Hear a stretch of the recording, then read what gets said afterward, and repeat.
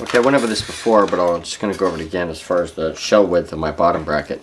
This is an 89.5 with bottom bracket. It actually comes up to a little bit bigger, 89.83, but it's an 89.5 bottom bracket for a BB92. So um, I have to use my bottom bracket here, which ends up being 92 millimeters across, but I have to use this 2.5 millimeter spacer on the drive side to make sure that it comes out to 92. So that's the orientation that it's going to go into. So all I have to do is put a little grease on there and um, I'm going to use this um, basically a homemade uh, bottom bracket uh, press.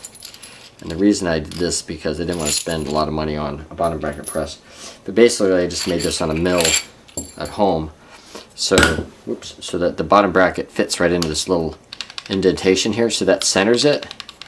And I have one of those for each side so those will fit in there nice and nice and neatly. So it's centered and um, it's pushing just on this outside rim this aluminum ring of the uh, bearing and so it doesn't push on the, the rubber cup itself. So I'm going to use this to push that inside and just use a couple of wrenches on these nuts to to get it in place. So let me get that set up and I'll put a little grease in here on both sides of the uh, bottom bracket and we'll get this pressed in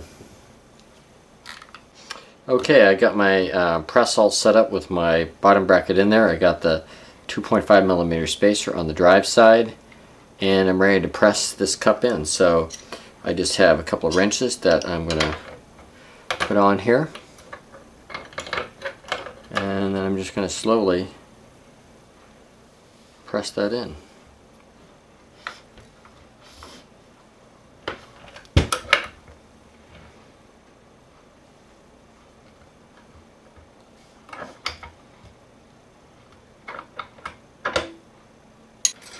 You can see right here I got about halfway on.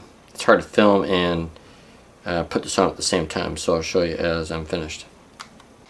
Okay here it is finally pressed in and uh, make sure that the uh, cups are fully against the frame over here.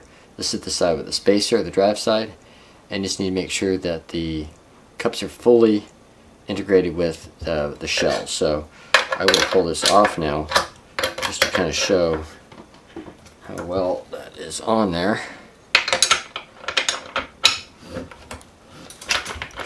I've never put on a press fit bottom bracket before, so I was surprised how much pressure it actually takes to put one of those on there. Okay, there you go. So, um, my press fit bottom bracket is fully on now.